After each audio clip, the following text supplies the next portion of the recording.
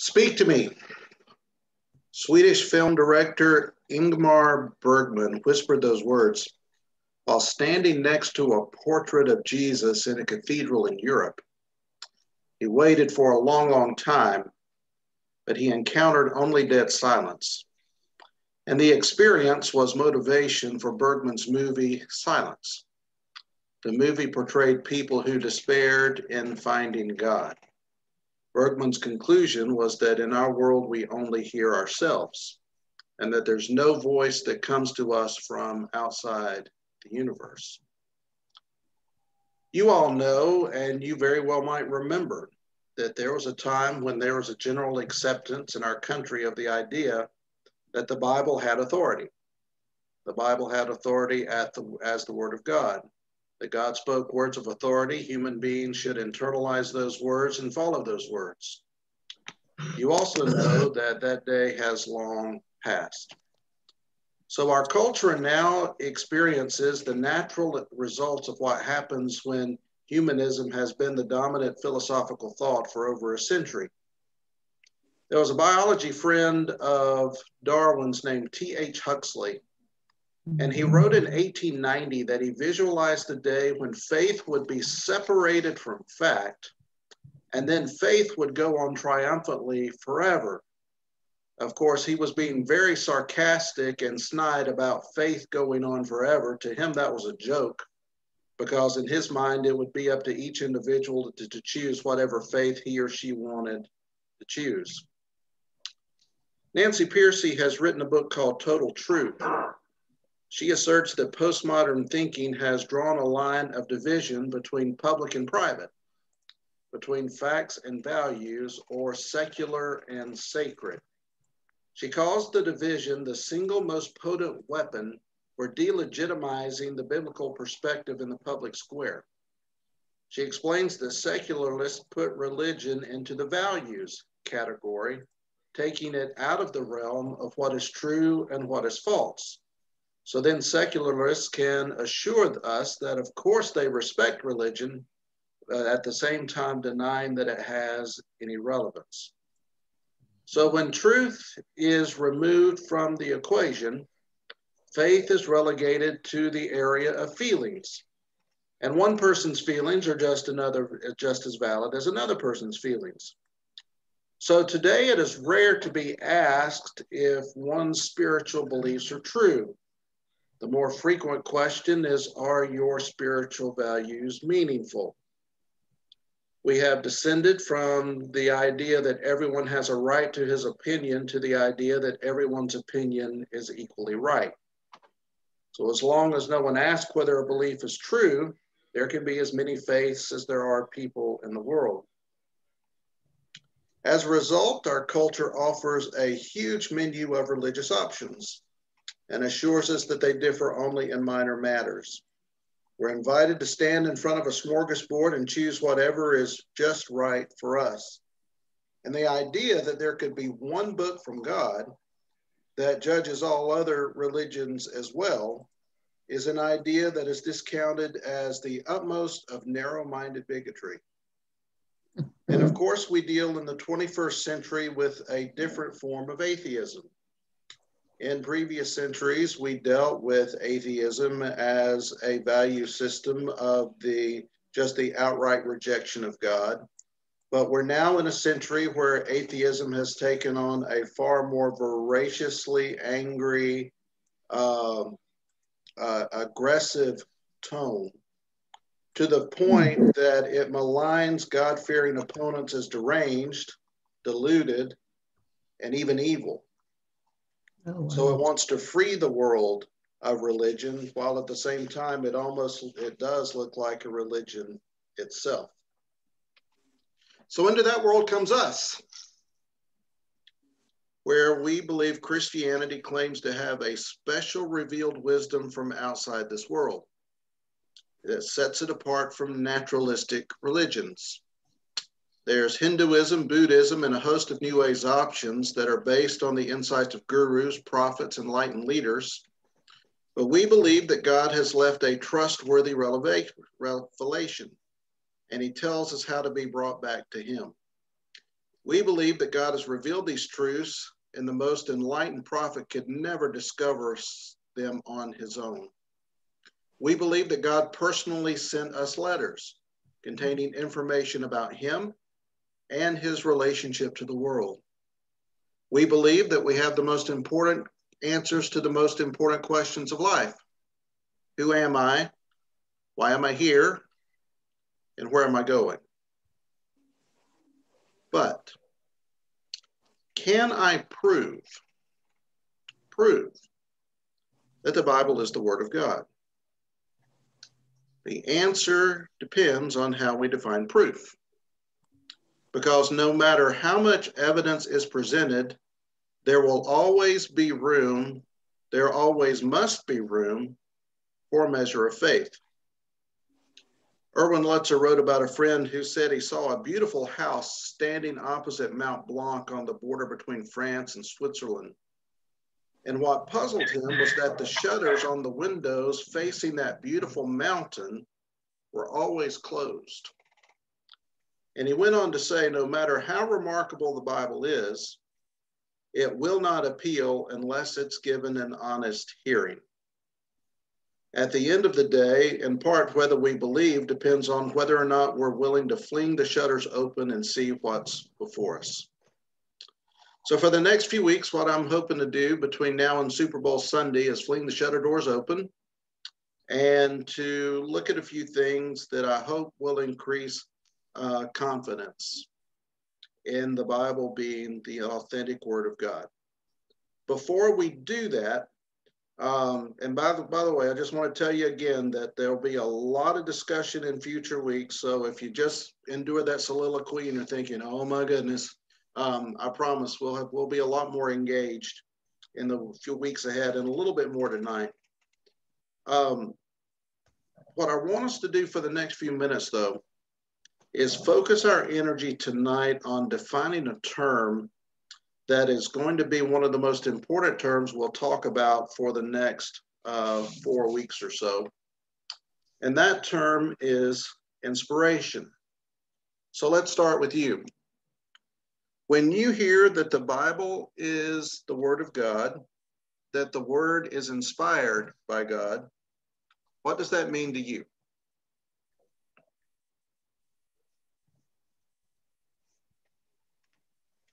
Directed, God. All right, God directed, okay? God defined. All right, God directed, God defined. All right, good. God breathed. God breathed. And we're going to we're going to do a deep dive into God breathed next week, by the way. Okay? Trustworthy. Trustworthy. God directed, God breathed, trustworthy. God said it. He said, he, he said it. Mm-hmm. All right. From the actual lips of God. Mm-hmm. Uh, he okay. Um, I know Irvon, I mentioned this a while back, but um, and I was looking for that sheet um, to give to my neighbor. Um, I kept it on my mirror for probably years. That um, I think it was in one of our bulletin, and I need to ask Wendy. It's anyway. It says God speaks, God speaks, God speaks. Are you listening? Mm-hmm. And and and, and um, I don't. When my neighbor was talking about something, uh, she uh, he texted me, and um, we texted each other that night. She said, you know, um, God is, uh, you know, something she was going to do, and she said, God is uh, telling a different. And I wanted to find that so I can give it to her and, and explain to her, you know, that, well, if God is talking to you, you need, really need to listen. And, I, and I'm speaking for myself also. Mary, it was interesting. Uh, Irvon brought that up in our Tuesday class. Uh, that mm-hmm. that very uh, that very thing from um, from Wendy back back in the bulletin. All right, you gave you laid a perfect foundation uh, in so many ways for inspiration. I want to spend just a, a uh, very few minutes uh, reviewing with you some things that uh, inspiration is not, and then we'll get more into different types of inspiration. Uh, two or three things that inspiration is not.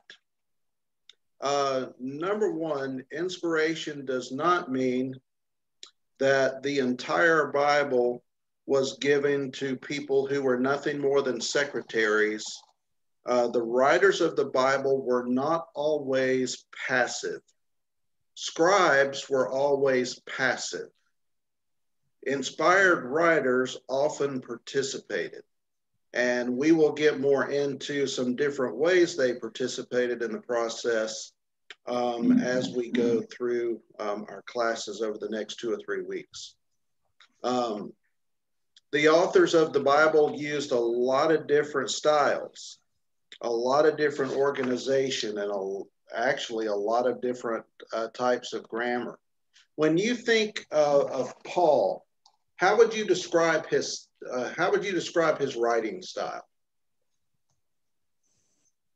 Direct. Very direct. Okay. In a lot of ways, he's speaking from his experience. Okay, a, a lot from life experience, uh, and we're going to drill down on that, Mary. Very good, very good point. All right, so we've we've got direct, uh, we've got uh, some experience. Okay, Authoritative? absolutely authoritative, uh, for the most part. Uh, remember, in Philemon was the one exception when he appealed in a little different way, which which was totally different than the way he wrote uh, First and Second Corinthians, Mhm. for, from different perspectives. Um, Tracy, did- was your hand up? It was one of your first question. Sorry, I. I gotta get I gotta get back used to look watching better. Sorry about that. Um, Right. Go ahead, Ron. oh, um, I think with with Paul, he wrote with urgency Ooh, because Paul had been educated and his whole life had been to serve God, but he did not believe Jesus Christ was the Son of God. Right. until God spoke to him personally. So after that, he came from a different perspective than anybody else, in, in my opinion. It was very, very, very vital to him that he get this across. This is a message mm-hmm. you cannot not listen to. Okay. So there's there's a level of urgency uh, in Paul's writing. There's a level of direct. Uh, there's a level of authority. Um, you've probably thought you've probably seen so far uh, in your own readings, especially in Romans, that that the logic is just brilliant. Uh, the way he the way he can take something from so many different angles uh, to make his point. Um, he's very precise uh, in his grammar. Now, how would you contrast that with Mark?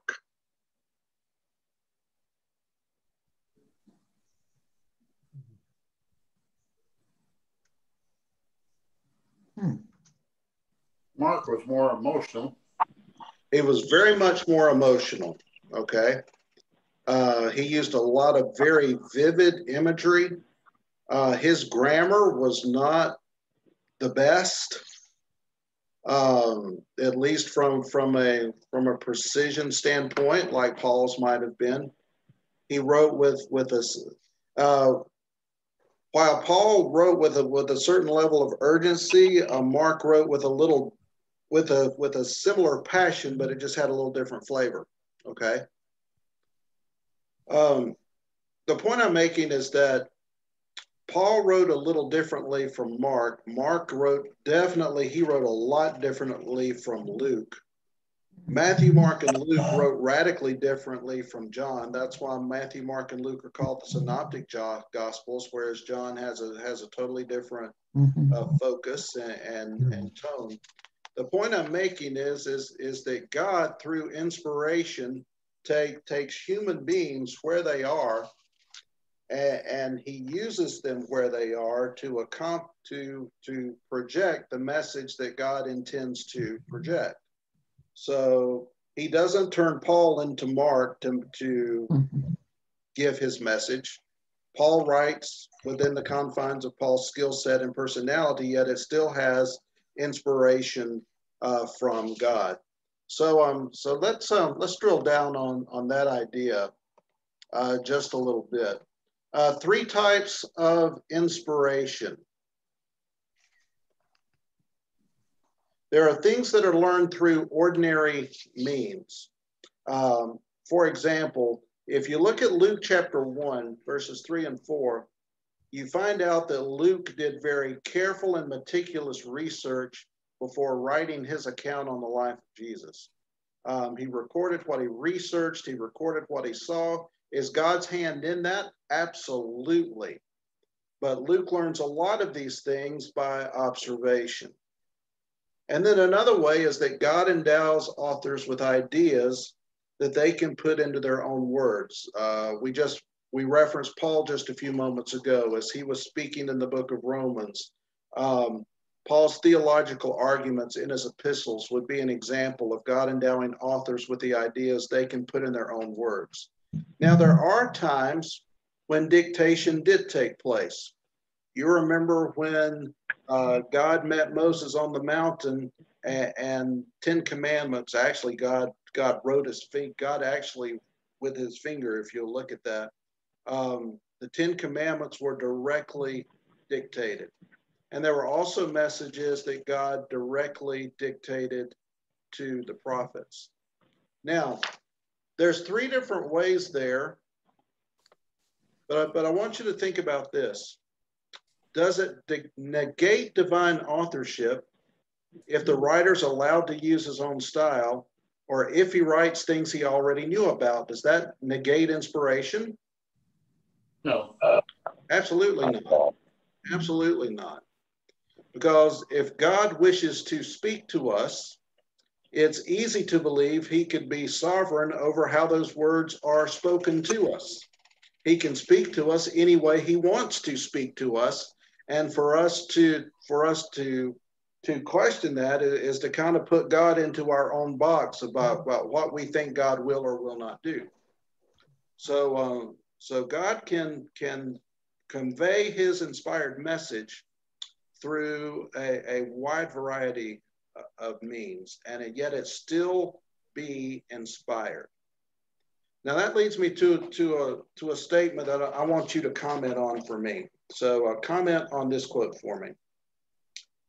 If the Bible was penned by humans, it must be imperfect because humans are imperfect.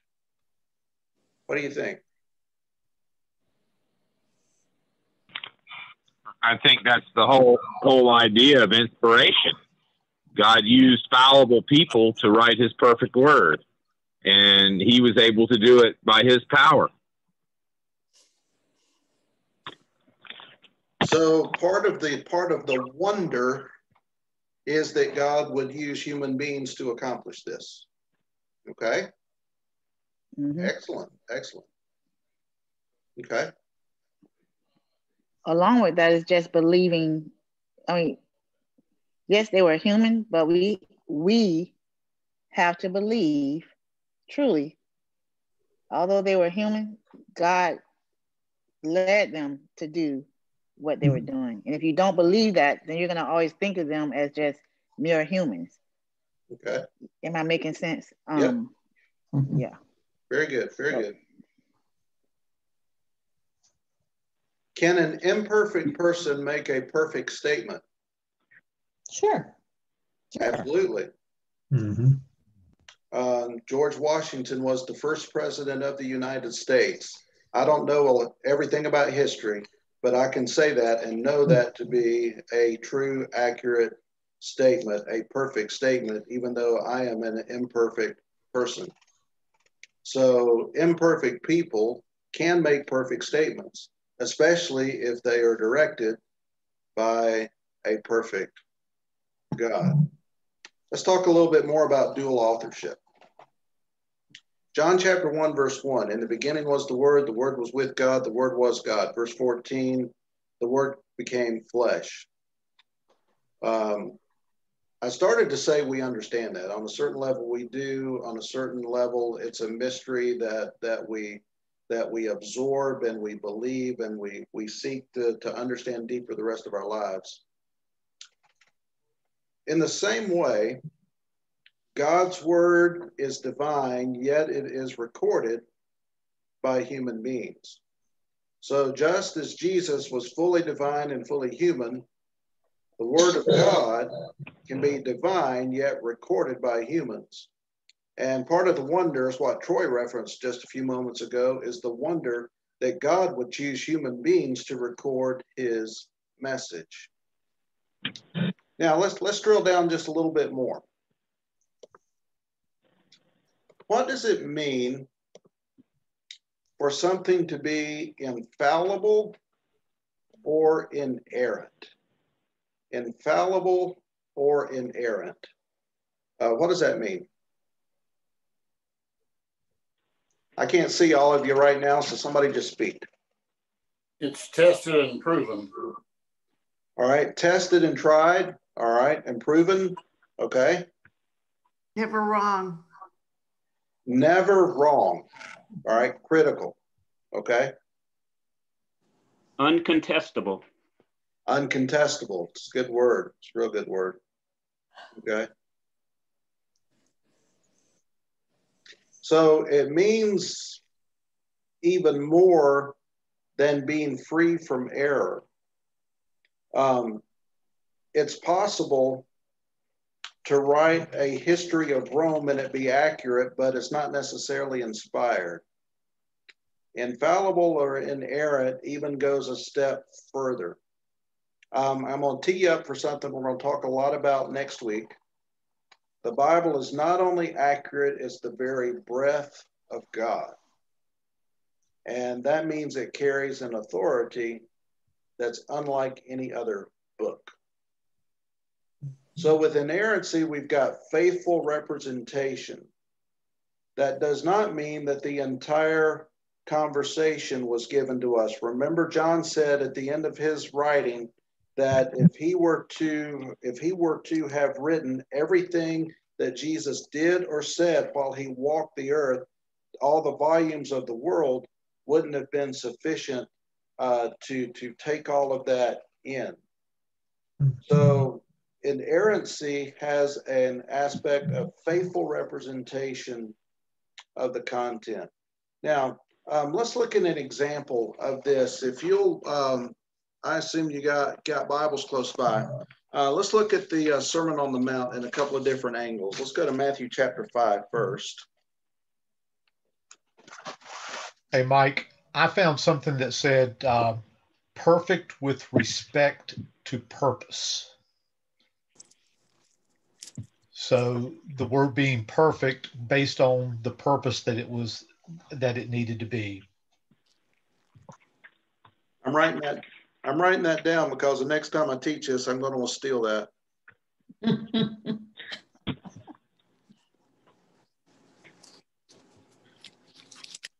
um, and, uh, and Mike. That, yeah, go ahead. Yeah, uh, some as a teacher before I taught math, sometimes I've had essay questions and so forth uh, that I would have have a student write. Um, uh, oftentimes students will write uh, a, a, perfect essay, but it's not about the right thing. yeah. So you can say you can say um, things that don't have mistakes in them, but if they don't accomplish the purpose for which it's written, then it, it doesn't do any good. You know, so I think you have to add that into kind of bounce off what Gary was talking about. It's um, it, it's that is an excellent, excellent point. Um, excellent point. Um, I was actually a victim of that in high school one time. I wrote wrote what I thought was a brilliant essay, but it didn't answer the question. I learned a very valuable lesson. I learned a D lesson, uh, but I learned a very valuable lesson that I remember uh, a year or two later. Um, Matthew chapter three, uh, Matthew chapter five. I'm sorry. Uh, Beatitudes, uh, verse three. Blessed are the poor in spirit, for theirs is the kingdom of heaven. Blessed are those who mourn, for they will be comforted. Blessed are the meek, for they will inherit the earth. Blessed are those who hunger and thirst for righteousness, for they will be filled. Blessed are the merciful, for they will be shown mercy. Blessed are the pure in heart, for they shall see God. All right. Let's move forward now to see something in Luke chapter 6.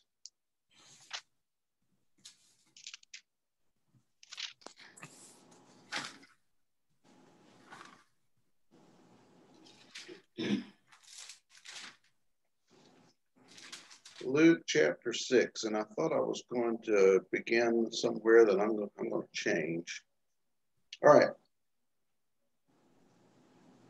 Let's look in verse 20. Looking at his disciples, this is what Jesus said Blessed are you who are poor, for yours is the kingdom of God. Blessed are you who hunger now, for you will be satisfied. Blessed are you who weep now, for you will laugh. Blessed are you when people hate you, when they exclude you and insult you, and reject your name as evil because of the Son of Man. Rejoice in that day and leap for joy, for great is your reward in heaven, for that's how the ancestors treated their prophets. Now, verse 24 Woe to you who are rich, for you've already received your comfort. Woe to you who are well fed now, for you will go hungry. Woe to you who laugh now, for you will mourn and weep. Woe to you when everyone speaks well of you, for that's how their ancestors treated the false prophets. All right. Here's my question Do Matthew and Luke agree with each other, or do they disagree with each other in the representation of what Jesus said when, according to Luke chapter 6 and Matthew chapter 5, he went onto a mountainside and, and spoke? Do we agree or do we disagree between Matthew and Luke? I think we agree. It's two people stating the same thing in a different way. Like you would probably say things one way and I'd say them another. And I think that's what's going on here with Luke and with Matthew. They were just two different people telling basically the same story in different words. That is so important for us to understand when we, on the, at least on one level, come across what are alleged to be contradictions.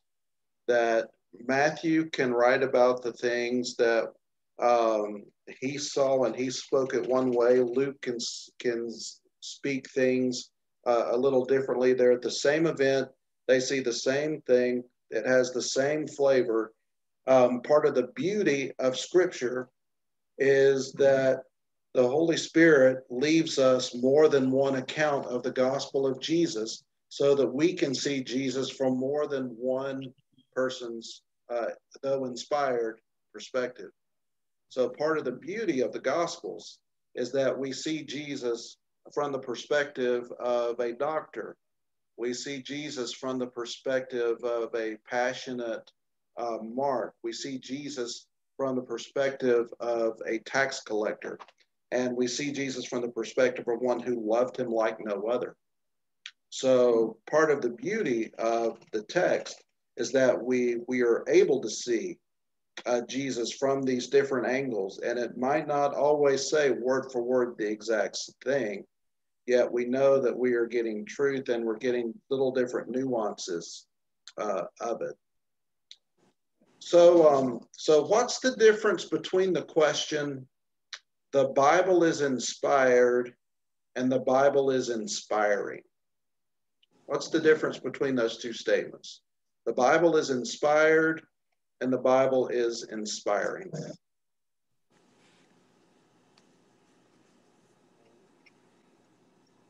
I think that's the difference between the source and the target. All right. What do you mean, Jeannie? Source and target?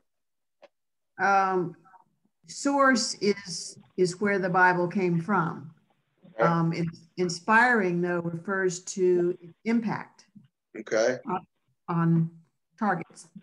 All right. Source versus target. I, I, like the way you differentiated that. All right. Um, Jack, what were you uh, were you going to say something? I thought I heard your voice. Come off mute, brother.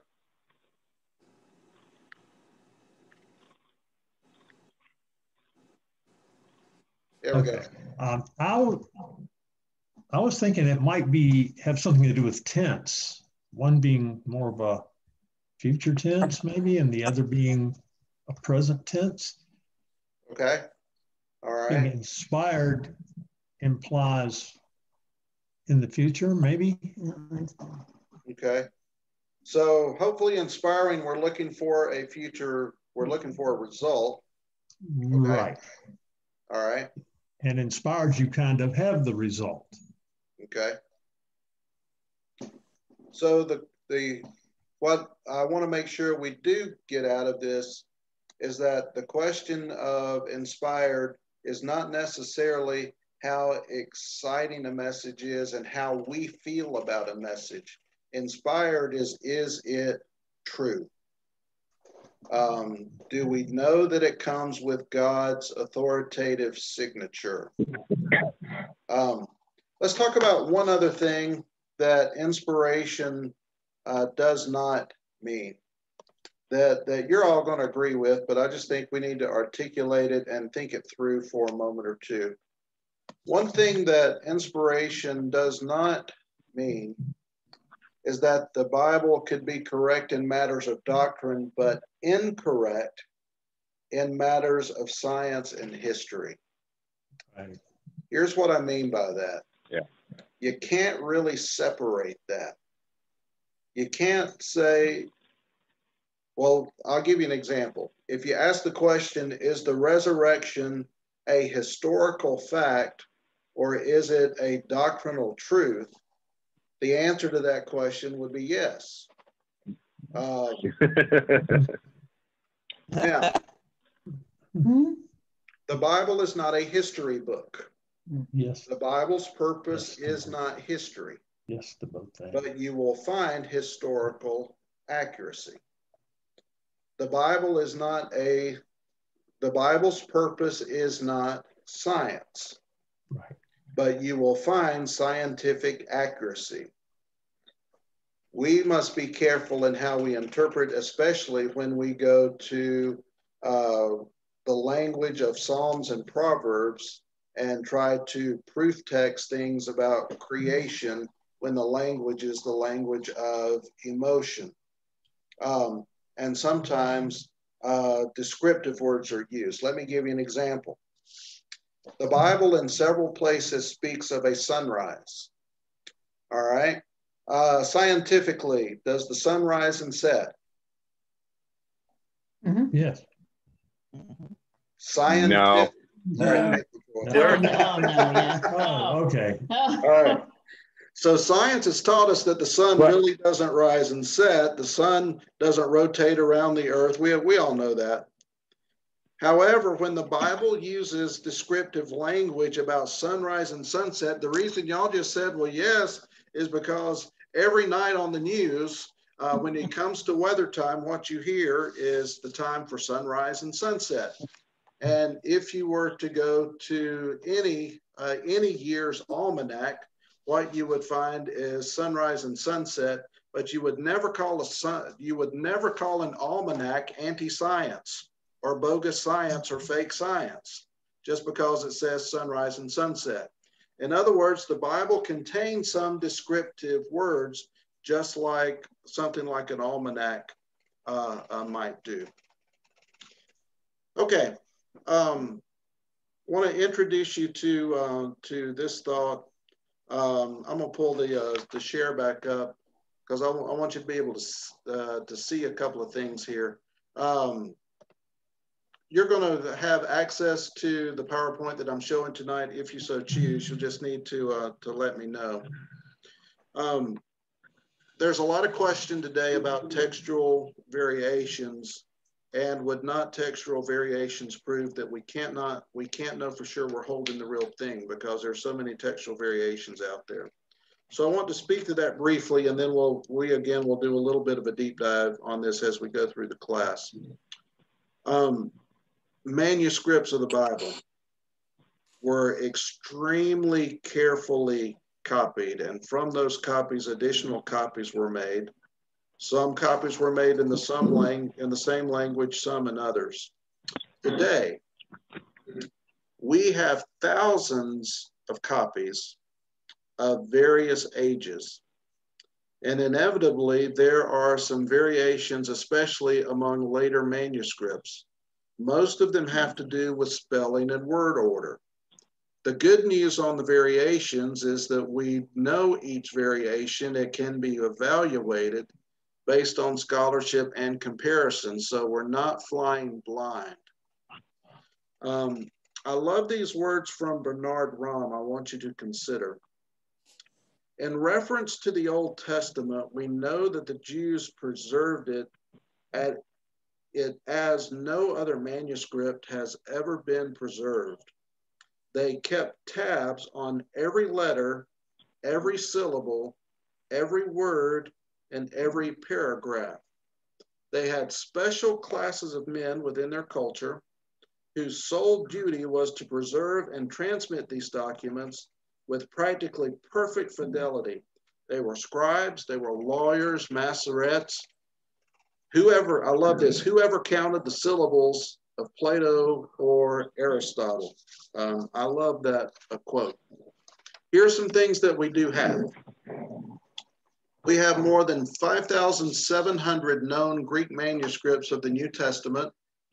We have over 10,000 copies of Latin Vulgate manuscripts and at least 9,300 other early manuscripts. Altogether, we have nearly 25,000 manuscript copies of portions of the New Testament. Now, why does that matter? No other document of antiquity even comes close. Here are some examples. The earliest manuscripts of Plato that we have are 1300 years after his death. Mm. For Sophocles, we have 100 copies, and the earliest manuscript is 1400 years after his death. Mm. The New Testament, by contrast, the earliest manuscripts we have are from the second century, uh, a uh, hundred years or less uh, afterward. All right, so one more thing to kind of whet your appetite a little bit. Here are some here are some questions that we're going to talk about over the next uh, several weeks. And, and that way you can find out uh, what um, which of these are, are most interesting to you. Now, here's what I want you to do. I want you to look at the questions you're going to see on the screen for the next few minutes. And if you do not see a question when it comes to trusting the Bible that you're interested in, send me a text or send me an email, okay? But here are some things, at least right now, that I'm planning for us to uh, talk about. Um, one thing we'll plan to discuss is this Isn't it illogical to say that the Bible is the Word of God just because it claims it is the Word of God? In other words, circular argument. Uh, Bible says it's the Word of God. Um, it is because it is because it is. Uh, we'll we'll uh, deal with some of the logic of that um, as we go. Uh, can we trust the history of the Bible? Uh, what about miracles? Uh, do the Dead Sea Scrolls uh, really matter? to what extent can we believe Bible prophecies? Um, couldn't the disciples have made up the stories about Jesus? We're going to talk about that a little bit. Um, we are going to do a uh, not a not a lake deep. trying to find the way to describe it. We're not going to spend 20 weeks talking about science, so I don't want to promise you like a deep, deep, deep, deep, deep dive. But we are going to talk about science and in contradiction with the Bible. Um, here's one we are going to talk about who decided what book should be in the Bible. Mm-hmm. And how were some of those decisions made? When were some of those decisions made? We're going to talk about that. Uh, we'll talk a little bit about the Gospel of Thomas and some other lost books. We'll talk about what the Bible teaches that no other book teaches. And then we'll talk about what benefits come to those who study the Bible. If on that list um, you did not see the thing that you are interested in, that you either want to discuss or you want to share, um, if you would uh, send me an email or send me send me a text, um, I'll be glad to see how how we can uh, incorporate that in uh, one of these weeks between now and Super Bowl uh, Sunday. I want to leave you with this tonight. Uh, we'll get out a minute or two early tonight, but don't count, don't hold me to that for future. All right. Uh, but um, I want to leave you with this thought, and, and this was uh, shamelessly stolen from another preacher. Uh, his name is Robert Chapman, but I, I want to share these words with you. Speaking of the Bible, this is what he says. This book contains the mind of God, the state of man, the way of salvation, the doom of sinners, and the happiness of believers. Its doctrines are holy, its precepts are binding, its histories are true, and its decisions are immutable. Read it to be wise, believe it to be safe, and practice it to be holy. It contains light to direct you, food to support you, comfort to cheer you. It's a traveler's map, a pilgrim's staff, a pilot's compass, a soldier's sword, and a Christian's character.